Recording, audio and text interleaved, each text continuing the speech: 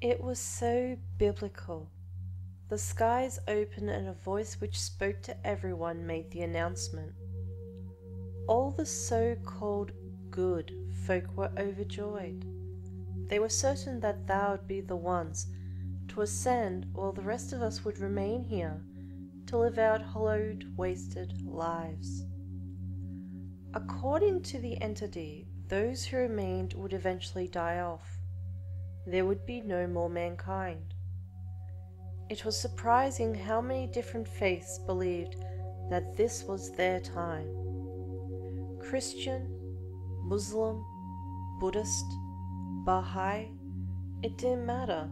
They were sure they'd back the winner in the religious stakes. So it came as a surprise to everyone when the entity started taking those who are really without sin. They just vanished. It's a harsh and sad world without kids or hope.